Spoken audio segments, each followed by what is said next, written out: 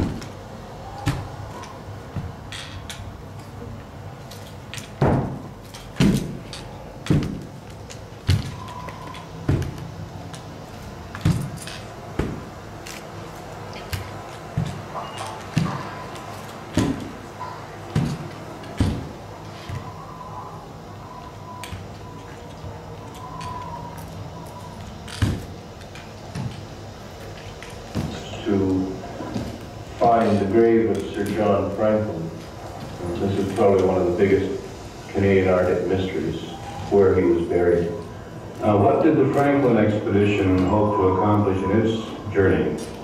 Aim was to find the Northwest Passage, undiscovered up to this time, and Sir John Franklin felt he knew where it was. And how long ago did all this take place? The Franklin expedition left England in 1845, and final members of the crew perished in 1848. So they spent three years in the Canadian Arctic before dying. Uh, I understand there's still a mystery as to where Franklin was buried, and this is what you were attempting, among other things, to discover, was it? That's right. The one note that the dying crews did leave said that Sir John Franklin had died on June 11, 1847, but they didn't leave any clue as to where.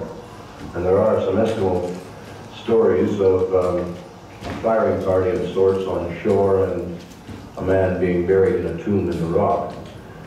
So that's all we had to go on, really. Are there any other theories about what happened to him? Yes, a number of books have been written on the subject, and uh, some authors feel that he was just put through a, a hole in the ice. A hole in the ice. A hole in the ice. A hole in the ice. A hole in the ice. A hole in the ice.